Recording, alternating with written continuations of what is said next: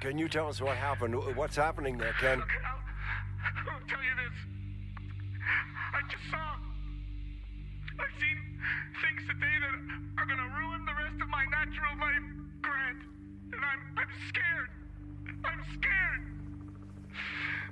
Ken, Ken, listen to me.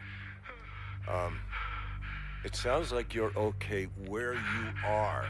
So don't move and you just stay there and we're gonna. like animals, and some of them are naked, and they're, they're like dogs. And their, their eyes, that look, it's just uh, startled, kind of wild. Uh, uh, Oh, God, Grant. Oh, okay, Ken, listen, no, listen. No, no, no. You don't understand. I'm looking uh, through a little door. There's a little door at the base of the door. It's some kind of uh, cat door or something, and I can I can see the. Uh, just okay. Let me move so I can see the. Oh! Look out! Oh God! They're they're pulling two people out of a van. Who are they, Ken? Who are they?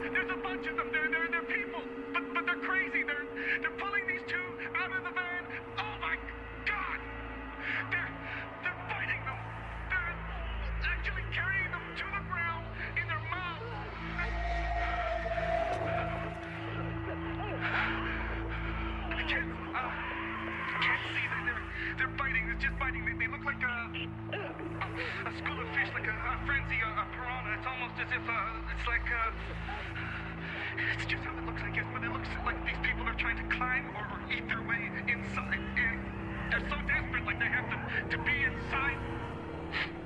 One has his entire leg and another his arm. It's, it's right inside. They're, Stop this, Grant.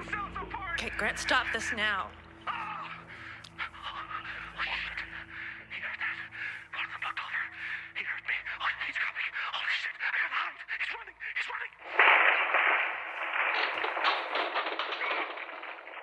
Ken, get out of there.